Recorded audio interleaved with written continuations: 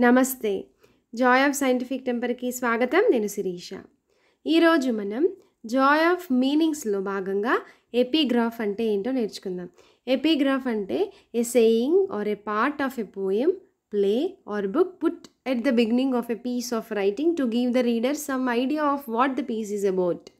అంటే ఏంటి అంటే పద్యంలో కానీ ఏదైనా నాటకంలో కానీ ఏదైనా పుస్తకంలో కానీ పుస్తకం ముందు ఒక పేజీలో రీడర్కి అంటే ఎవరైతే చదువుతారో వాళ్ళకి కావాల్సింది వాళ్ళకు చదవ వాళ్ళకి తెలియడం కోసం ఒక రచన ఒక రైటింగ్ రాసి ఉంటుంది. దేని గురించి అని అంటే అసలు ఈ బుక్ దేని గురించి ఈ పోయం దేని గురించి అని ఒక ఐడియా ఇవ్వటం కోసం ముందు బిగినింగ్లో పుస్తకం ముందులో ఒక ఒకటి ఉంటుంది. ఒక రైటింగ్ ఉంటుంది. దాన్ని ఎపిగ్రాఫ్ అని అంటారు.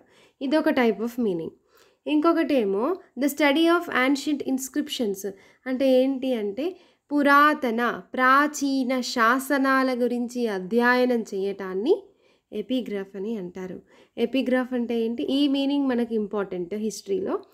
యాన్షియంట్ అంటే ప్రాచీన ఇన్స్క్రిప్షన్స్ అంటే శాసనాలను అధ్యయనం చేయటం స్టడీ చేయటాన్ని ఎపిగ్రాఫ్ అని అంటారు.